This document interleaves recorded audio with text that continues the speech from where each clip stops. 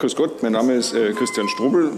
Ich arbeite am Deutschen Fernerkundungs- und Datenzentrum in Oberpfaffenhofen.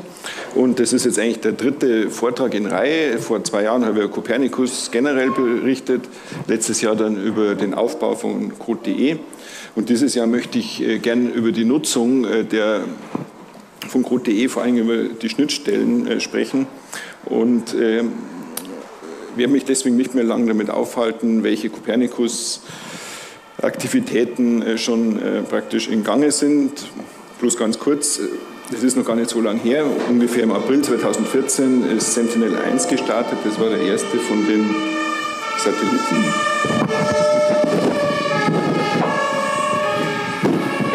Radarsatellit und äh, im, Ab, im Mitte äh, 2015 kam dann mit Sentinel-2 der äh, hochauflösende optische. Das heißt, das sind jetzt drei, dreieinhalb Jahre und wir haben damit schon sehr viele Aktivitäten, die allgemein noch gar nicht so bekannt sind. Es gab daraufhin auch ähm, verschiedene Aktivitäten, äh, auch von der ESA und den nationalen Einrichtungen, diese Satellitendaten an den Mann zu bringen. Und eine davon ist halt Code.de, das ist äh, der deutsche äh, Datenzugang für Copernicus-Daten. Ich werde halt kurz diese Anwendung vorstellen, über den Client, was man damit alles machen kann. Dann äh, auf die Schnittstellen eingehen, das ist einmal die Collection-Suche mit dem Catalog Service Web, CSW, dann äh, Datensuche über eine Open Search Schnittstelle mit dem EOP-Profil, dann Darstellung mit WMS und Download über HTTP und WCS. Das sind im Wesentlichen die Schnittstellen und äh, wenn es sich zeitlich ausgeht, was aber wahrscheinlich äh, was nicht wahrscheinlich ist, ich habe das eigentlich als Demo angemeldet, das hat sich auf 20 äh, Minuten reduziert, würde ich gerne noch ein bisschen was zeigen. Vielleicht mal, baue ich das ja zwischendurch ein. Wenn man Code.de startet, äh, kommt man in das Portal oder den äh, Marketplace, ein bisschen ein blöder Name. Man sieht sofort, ich habe hier Sentinel 1, 2 und 3 Daten. Sentinel 1 ist, äh, sind Radardaten, Sentinel äh, vergleichbar. Ja. Sentinel 2 sind hochaufgelöste optische Daten, vergleichbar Landsat. Und Sentinel 3 sind äh, mittelaufgelöste optische Daten, vergleichbar äh, Modis oder Meris von der ESA. Modis von der NASA. Und ähm, diese Daten sind über unser Portal verfügbar und äh, ist, die fünfte Mission ist Sentinel, äh, die vierte ist Sentinel 5P, was Atmosphärendaten, äh, die Atmos also Atmosphärendaten liefern. Da sind wir gerade dabei zu integrieren. So, jetzt ähm, schauen wir, wie kommt man denn überhaupt darüber an die Daten? Man ist ja ein bisschen ungeduldig meistens als User. Da kann man mal über den Weg Datasets gehen, dann sieht man hier alle Daten, die zur Verfügung stehen kann man noch runterscrollen, dann sieht man mehr. Oder man geht hier oben über, diese, äh, über den Featured Content direkt rein.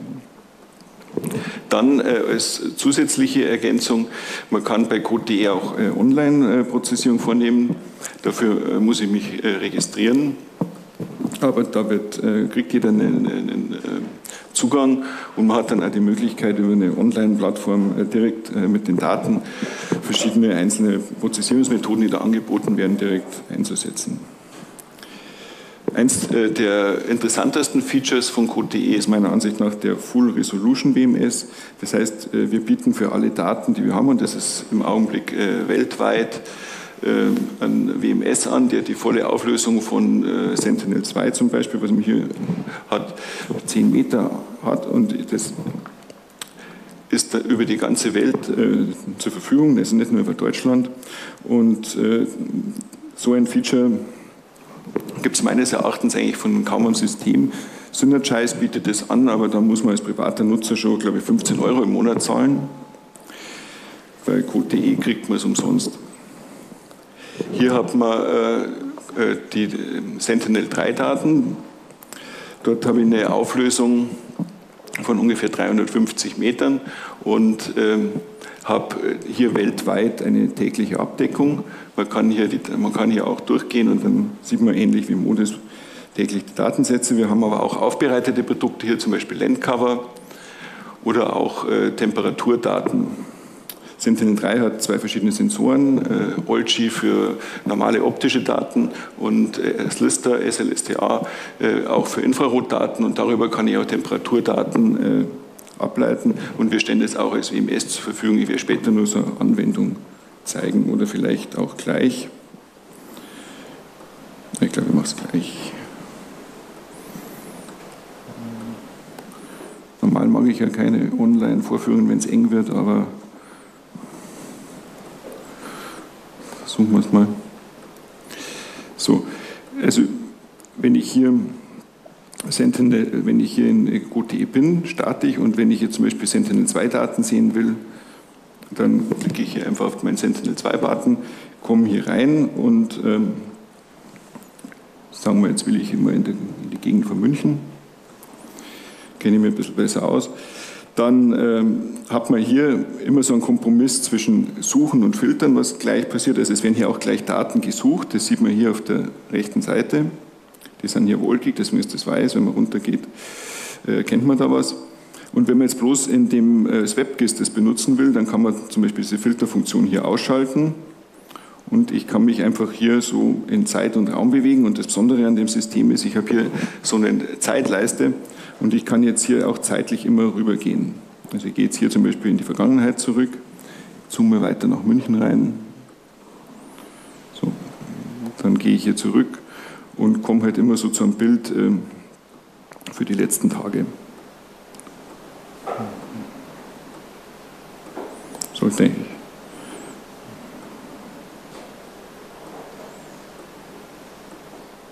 Eigentlich ist das Netz sehr gut, aber so. Das heißt, ich kann hier, wenn ich mich in dieser Zeitleiste bewege, auch äh, in den August letzten Jahres zurückbewegen. Und wenn ich will, kann ich dann auch sofort eine Suche beginnen und dann sehe ich für den Zeitraum die Datensätze, die es jetzt gibt. Und diese Datensätze äh, kann ich mir dann direkt runterladen, vorausgesetzt ich bin eingeloggt. Also das sind die zwei unterschiedlichen Optionen, die man hat. Man kann das hier als WebGIS benutzen mit einer zeitlichen und räumlichen äh, ja, Zoomen, Panning, was man halt so kennt. Ich habe auch hier die Möglichkeiten, äh, die Layer zu ändern. Ich kann hier vielleicht noch mal so ein Anwendungsbeispiel zeigen, das habe ich vorher vorbereitet. Das dauert eine Zeit, bis man zurückgeht. Das sind die Feuer, die wir in Kalifornien im November letzten Jahres gehabt haben. Da sieht man jetzt hier zum Beispiel, ich zoome ein bisschen raus, sieht man jetzt hier äh, so ein Feuer in der Nähe von Chico, war das glaube ich. Und äh, dann kann ich hier so tageweise durchgehen. Wobei man noch dazu sagen muss, äh, das sind Sentinel-3-Daten. Äh, dort ist der letzte Satellit letztes Jahr gestartet, da war der noch in der Commissioning-Phase und wir haben für den Zeitraum nicht jeden Tag Daten, sondern bloß für jeden zweiten Tag. Das hat sich inzwischen allerdings geändert. Aber ich kann jetzt hier tagesweise durchgehen und sehe zum Beispiel, wie sich das Feuer entwickelt. Ein bisschen warten.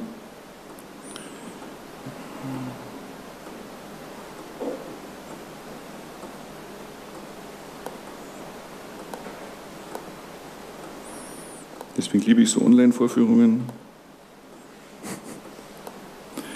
So, und äh, was man jetzt noch zusätzlich machen kann, kann jetzt zum Beispiel auch noch unsere Temperaturdaten dann hinzuschalten und kann dann schauen, ob ich das vorher vielleicht auch darauf erkenne.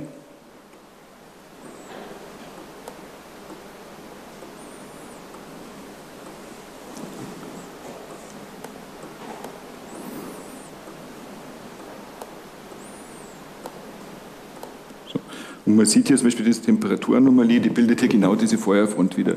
Das heißt, äh, durch die Kombination dieser verschiedenen Daten, die ich schon im System habe, kann ich äh, jetzt schon verschiedene äh, fachliche Aufgabenstellungen erfüllen, die ähm, für unterschiedliches Bereich gelten, für Flut, Feuer, alles Mögliche, aber auch für Monitoring-Aspekte werde ich später nur ein Beispiel zeigen. Was man jetzt auch noch machen kann, ich kann das jetzt kombinieren mit meinen Sentinel-2-Daten, die ja höher aufgelöst sind die aber halt dafür eine geringere zeitliche, also eine höhere räumliche, geringere zeitliche Auflösung. Das geht bei Satellitendaten ja immer einher. Je öfter der Satellit drüber kommt, umso höher ist die zeitliche Auflösung. aber umso geringer die räumliche Auflösung, weil der, die Schwartbreite, mit der aufgenommen wird, umso größer wird. Zoomen wir mal hier.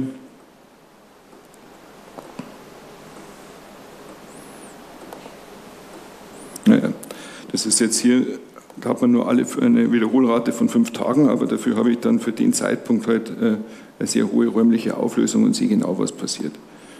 Also durch die Kombination äh, unterschiedlicher Sensortypen, unterschiedlicher Satelliten kann ich halt hier ganz unterschiedliche Aufgaben auch schon nur in, diesem, äh, in dieser Anwendung sehen. Also das ist so die erste Sache, die ich heute zeigen wollte, wie man den Browser benutzt und was man da alles machen kann. Das wollte ich als nächstes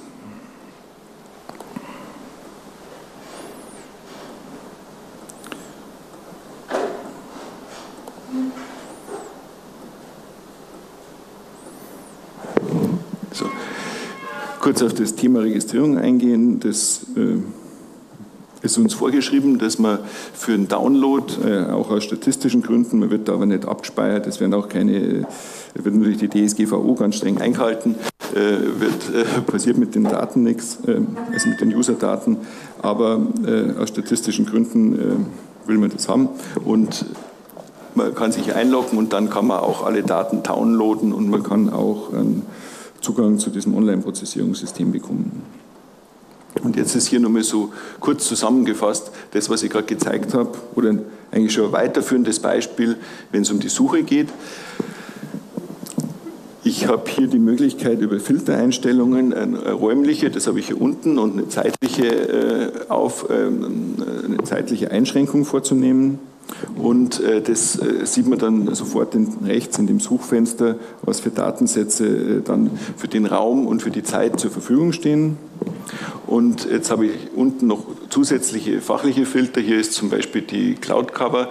Man sieht hier, dass jetzt sehr viele wolkige, oh, Entschuldigung, ich bin in die falsche Richtung gegangen. So, man sieht hier sehr viele wolkige Bilder. Und dann habe ich die Möglichkeit, hier zum Beispiel die Cloud-Cover einzuschränken auf äh, 0 bis 20 Prozent und man sieht, dass sich das sofort in dem Fenster auswirkt, dass ich äh, jetzt Datensätze habe, äh, die eine geringe Wolkenbedeckung haben. Das ist ja das, was man in der Regel will.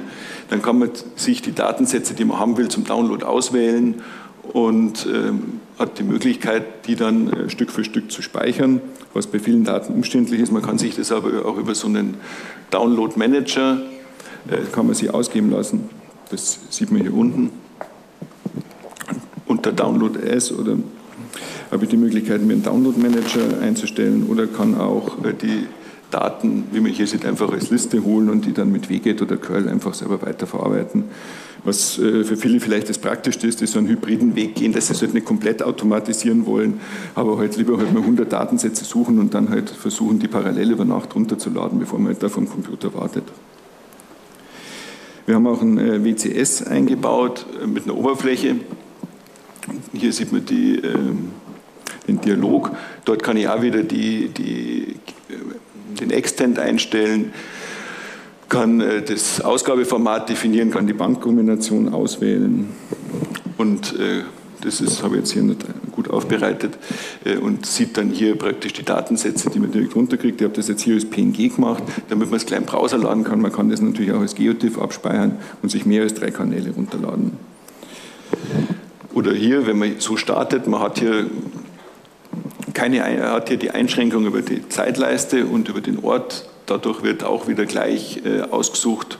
Wir haben praktisch alle Datensätze gesucht, die für diesen Raum zur Verfügung stehen und äh, für das, was in der Zeitleiste hier mit, schwarzen, mit dem schwarzen Balken markiert ist.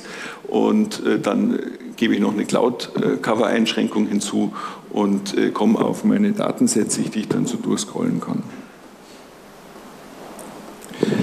Was ich dann auch hier sehe, da gibt es noch so einen Open Search Link, wenn man auf Atom, also Atom geht oder O&M, aber in dem Fall das Atom, dann kriege ich auch diesen Datensatz nochmal in dem Format angezeigt und habe hier so ein Atom-Feed den der Firefox leider seit einem Monat nicht mehr rendert, wo man sich so eine äh, extra Add-on laden muss.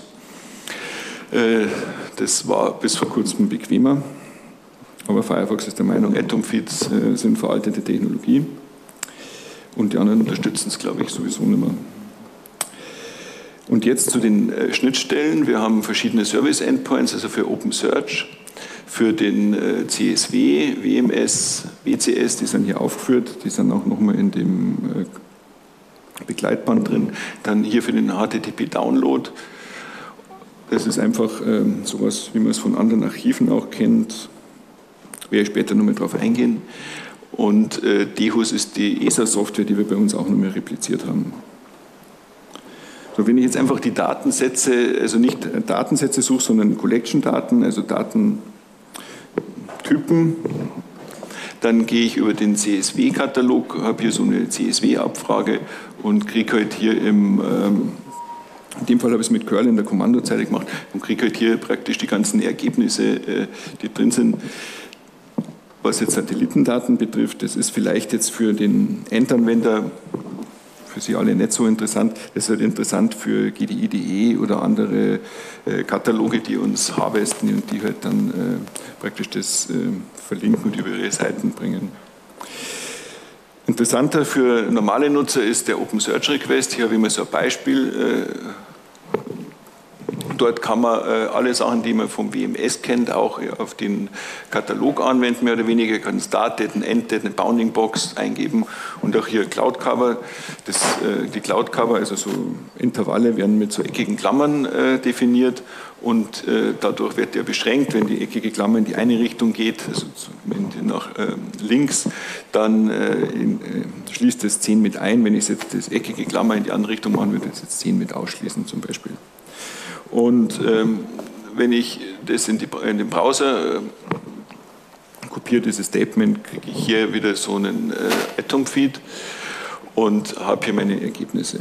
Und kann das aber auch, was äh, oft nur praktisch ist, was äh, wahrscheinlich äh, ein bisschen gewöhnungsbedürftig ist, aber das ist einfach dieses Open Search Protokoll, muss ich jetzt aber hier schnell schauen, wo das steht, Absolute da muss ich hier vielleicht schauen. Nee, es nicht.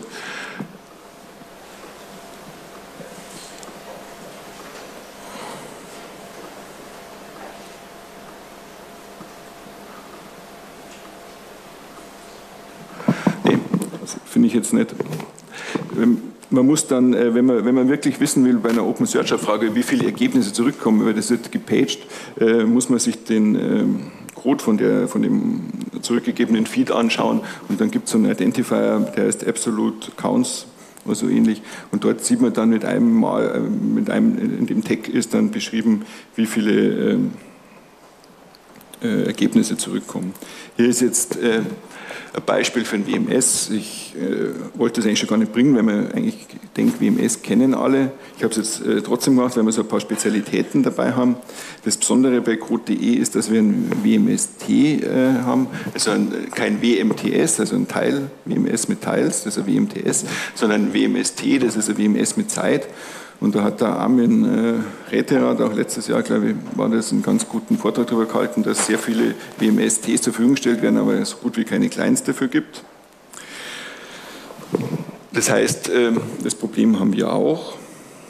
Ich äh, setze jetzt hier diese Abfrage, setze ich einfach mal in einem Browser ab und sehe dann hier das Ergebnis. Also es ist auch Münchner Innenstadt wieder, die man hier sieht. Und dieser WMST, der spiegelt es ja wieder, ich kann hier für verschiedene Zeiträume, das habe ich jetzt hier im Browser gemacht, sehe ich halt, und man sieht das hier sehr schön an, der, an dem, wie weit die Aufnahmen immer nach Norden gehen, weil die nehmen immer nur, die Satelliten nehmen immer nur so lange auf, die optische Daten liefern, äh, solange natürlich Tageslicht da ist und im Winter geht es immer weiter zurück und dann erst äh, Richtung äh, Frühling äh, wird es wieder in höhere Breiten. Also man kann das hier alles mit dem WMST nachverfolgen. Das Problem ist jetzt, wenn man das in Cookies lädt, schaut es erstmal so aus. Ja. Also man sieht nichts, obwohl der WMS hier drin ist. Cookies kann prinzipiell dann nicht damit umgehen. Da gibt es aber den äh, Time Manager. Und wenn man mit dem ein bisschen rumspielt, äh, dann schafft man das auch, dass man den äh, WMST, aber sicher auch andere, nicht bloß unseren, äh, in äh, Cookies anschauen kann. Da habe ich ja nur mal so ein Beispiel vorbereitet.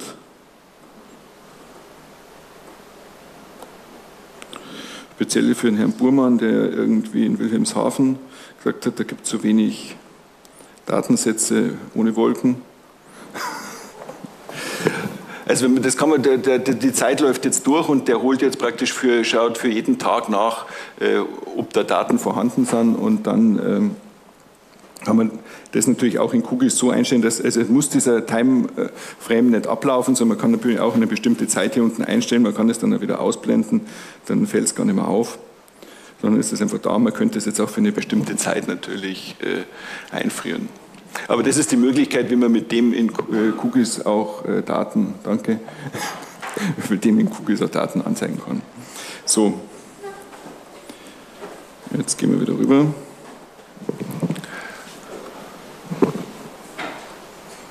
So, hier wäre das Beispiel wieder die Wiesen. Mein Lieblingsbeispiel. Und äh, wir haben jetzt eine Besonderheit, äh, vom, wir benutzen im, im äh, Background den äh, Geo-Server äh, für die Aufgaben und äh, da haben wir jetzt eine neue Möglichkeit, über eine Environment-Variable auch die Bandkombination anzugeben. Ich habe jetzt hier als Bandkombination nicht die klassische 432, was Echtfarben bei Sentinel-2 ist, definiert, sondern ich habe so eine Falschfarbenaufnahme, wo der achte Kanal, das nahe Infrarot, den Rotkanal ersetzt und die anderen nach hinten rutschen und kriegt dann hiermit äh, praktisch äh, das Ergebnis, dass halt äh, Grünflächen, also Vegetationsflächen äh, als rot erscheinen. Kann ich jetzt direkt über ein WMS machen und brauche ich kein WCS mehr, was eigentlich eine sehr schöne Sache ist. Und ähm, wir können auch on the fly den, äh, verschiedene äh, Indizes berechnen. Hier als Beispiel wieder mal der NDVI. Also wir haben einen Style definiert, der on the fly äh, den NDVI berechnet. Das ist auch bloß der rote und der Infrarotkanal. Und das Ergebnis ist hier. Das weiß ich nicht, ob wir den Style so beibehalten werden, aber das ist erstmal so Arbeitsstyle, wo halt äh, nicht Vegetation rot ist und Vegetation grün. Man kann das auch von hell nach dunkelgrün machen, was vielleicht weniger aggressiv am Beamer rüberkommt. Das ist äh, Beispiele, wie man den WMS nur einsetzen kann. Und jetzt die Kombination vor allem von OpenSearch und WMS ermöglicht mir das, was ich bei Kugis äh, vorher gesehen habe, dass wenn ich das so durchlaufen lasse, dass ich einen Haufen Wolken natürlich in Mitteleuropa dabei habe. Da tue ich mir schon viel leichter in äh, Nordafrika, aber bei uns hat man halt viele Wolken. Und mit den OpenSearch-Abfragen kann ich ja zum Beispiel mir die Daten rausfiltern, die keine Wolken haben ich gehe mal weiter, kann ich mir die Daten rausfiltern, die keine Wolken haben oder die nur wenige Wolken haben, kann das automatisieren und äh, lade mir dann über ein WMS die Daten runter und kann dann so Animationen zum Beispiel daraus machen. Das kann ich für verschiedene Sachen machen. Ich habe jetzt auf der einen Seite, mal, sieht man den Auf- und Abbau von Oktoberfest oder den anderen Aktivitäten, die da auf der Wiesen immer stattfinden. Das da drüben ist das Al-Wakiri-Stadium in Katar, äh, wo man halt sieht, wie der Baufortschritt so ungefähr im letzten Jahr ist. Das ist äh, vor allem das rechte Beispiel, ist so ein bisschen an der Grenze natürlich von der Auflösung mit 10 Metern, aber man sieht trotzdem ganz gut, wie die Straßen da, dazu gebaut werden. Und äh, sowas kann man sich mit dem WMS Telemer zur Verfügung stellen, wird mehr oder weniger selber hinbauen, kann da verschiedenste Sachen machen. Ich habe hier nochmal ein Beispiel dabei für so eine Bewässerung irgendwo im Garden Country äh, in den Vereinigten Staaten. Und da sieht man auch, äh, wie sich halt im Laufe des Jahres, äh, das ist wieder ein Falschfarbenbild, wie sich im Laufe des Jahres halt die Vegetation ändert und halt das rauf und wieder runter geht. Also gibt es halt verschiedene Anwendungen und das kann ich alles machen, ohne dass ich besonders viel Fernerkundung mache, jetzt mit dem, was wir jetzt hier anbieten. Das kann ich nur mit unserem WMST und ein bisschen Basic-Programmierung in Python eigentlich erledigen. Wenn ich mich da jetzt nicht so drauf einlassen will, ähm, auf so, äh, ja, so Service-Sachen, dann habe ich die Möglichkeit, den klassischen HTTP-Download immer noch zu äh, äh, versuchen. Ähm, das ist durchaus eine legitime und ähm, einfache Sache, die auch äh, ja, seit, ich weiß nicht, seit, seitdem es Satellitendaten gibt und die übers Internet vertrieben werden, gibt es diese Archive, die immer so aufgebaut sind, dass man den Sensor, das Satellit, den Sensor, dann das Jahr, den äh, Monat, Tag und so weiter hat. Und dann kann man hier noch dazu über, das ist jetzt weiter drüben, kann man hier noch über gewisse äh, Kürzel und Grids feststellen, wo das auf der Welt liegt. Sondern äh, WCS nur ganz kurz empfehle ich jetzt bei code.de nicht so, weil wir haben da nur gerade äh, Performance-Probleme muss ich zugeben. Aber so ähm, Ausschnitte in der Größe von der Stadt funktionieren. Wenn ich jetzt Ausschnitte in Größe von Europa oder so mache, dann wird es allerdings sehr schwierig. Da haben wir eine Langschreibweise, die sieht man hier, und die Kurzschreibweise sieht man hier. Ähm, wollte bloß mit zeigen, also man muss das nicht so ausschreiben, wie es in den äh, OGC-Standards vorgeschrieben ist, sondern man kann das hier auch abkürzen. Dann kann man es ein bisschen größer machen, dass man es besser lesen kann. Und äh, wir bieten zusätzlich auch noch für den Download äh, eigene Tools an. Das sind unsere sogenannten äh, Code.de-Tools, die haben wir auch auf GitHub. Und vielleicht schauen wir uns die nur kurz an. Also das, was ich hier gezeigt habe, das kriegt man alles ohne Probleme über die äh, Code.de-Seiten. Der Trick ist, wenn man irgendwo in so einem Fenster drin ist, vielleicht noch, also wenn man irgendwo mittendrin ist und wieder ins Portal will, dann muss man einfach hier bloß auf das Logo gehen, dann kommt man wieder raus. Und äh, was wollte ich jetzt sagen? Ah ja, genau, die Code.de-Tools. Die Code.de-Tools sind hier. Wir haben hier verschiedene andere Software, äh, freie Software äh, promotet, äh, mit denen man halt gut äh, arbeiten kann, also sowohl von der ESA als äh, dem FOSS-Bereich. Und hier kommt man auf die GitHub-Seite, äh, kann sich die runterladen und es sind hier auch so Beispiele drin, wie man damit umgehen kann, wie man die Sachen automatisieren kann. Und wenn da Fragen sind, kann man jederzeit eine E-Mail schreiben, die auch beantwortet wird.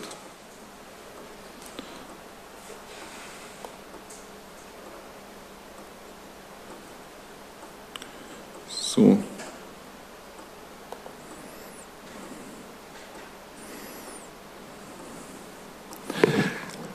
Wir zu dem Punkt, dieses äh, Spiel wurde Ihnen präsentiert von, äh, und zwar vom Bundesministerium für Verkehr und digitale Infrastruktur hat das bezahlt. Das ist auch eine Infrastrukturmaßnahme äh, von der Bundesrepublik Deutschland und ähm, das sind die Firmen, die das Konsortium dargestellt hat. Da gehe ich jetzt auch nicht Schritt für Schritt drauf ein. Ähm, das können Sie nachlesen. Interessant war jetzt die Schnittstellen und ich glaube, wir sind hiermit am Ende. Danke für die Aufmerksamkeit.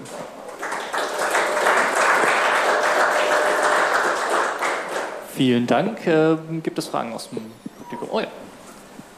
Hier vielleicht. Achso, ja.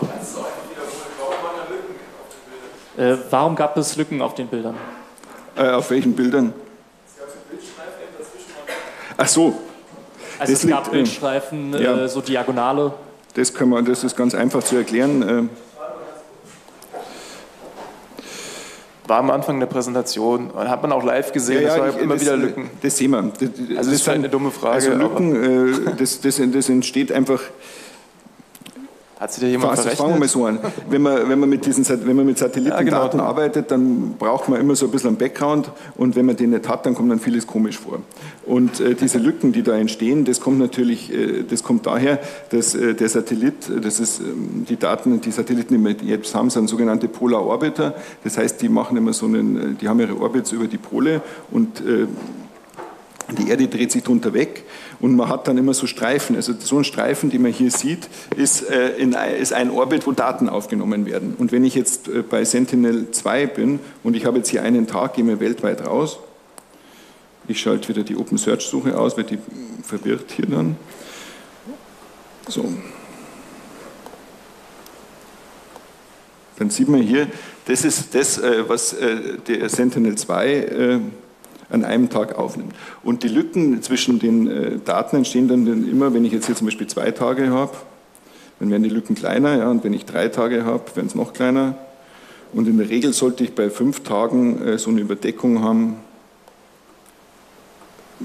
dass, äh, dass in weltweit, äh, sieht man hier, dass die Daten weltweit so abgedeckt sind, dass keine Lücken mehr dazwischen stehen. Und ich habe da sicher irgendwelche äh, Zeiträume eingestellt, wo halt diese Lücken auftreten.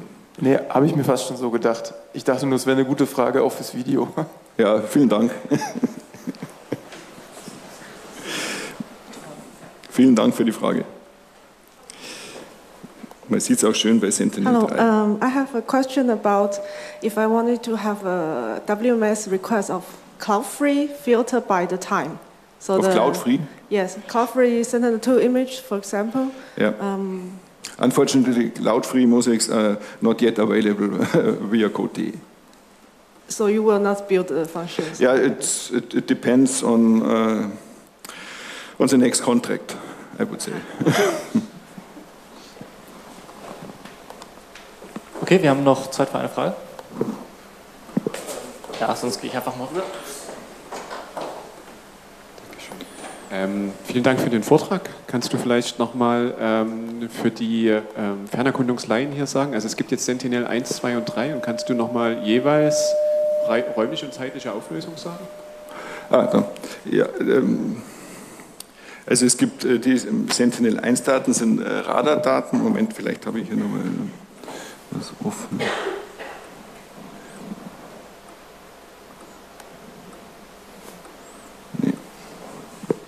Gut, Sentinel-1 sind Radardaten, äh, die haben so eine Auflösung, bei Radardaten ist das immer schwierig zu sagen, aber die liegt so zwischen 30 und 20 Metern, wenn man das umrechnet. Äh, Sentinel-2 haben Auflösungen von 10 Meter äh, für fünf oder sechs Bänder, die am meisten benutzt werden, bis zu 60 Metern. Und Sentinel-3, da gibt es zwei Sensoren, das eine ist Olchi, das ist der klassische Sensor für Land- und Wasseranwendungen. Da habe ich äh, Auflösungen der, äh, bei Full Resolution von 350 Meter und so eine Reduced Resolution Auflösung von 1000 Meter.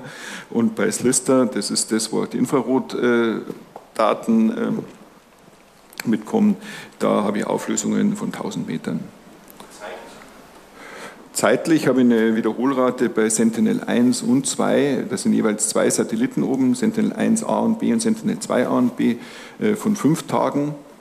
Also mit einer Wiederholrate von fünf Tagen. Das sieht man auch schön, also wenn man sich mit dem Code mal so beschäftigt, wie wir das da haben, dann kann man so Sachen ganz gut sehen. Hier äh, dann hat man bei äh, Sentinel 3 habe ich eine Wiederholrate äh, bei Sentinel, habe ich gesagt, bei Sentinel 3 habe ich eine Wiederholrate mit A und B, was jetzt erst seit kurzem drin ist, äh, von äh, einem Tag. Also habe ich in einem Tag, das müsste man jetzt eigentlich sehen, wenn ich hier nicht gerade rausgeflogen bin. Sonst sieht man es hier im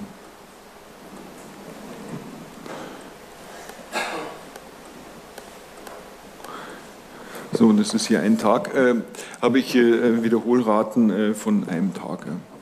Ja. Und bei Sentinel 3 Slister habe ich sogar Wiederholrate von einem halben Tag, weil nämlich äh, die Infrarotdaten auch auf der Nachtseite aufgenommen werden und dadurch habe ich praktisch pro, pro äh, Punkt auf der Erde eine Abdeckung, also jeden Punkt zweimal am Tag, also sowohl tags als auch nachts.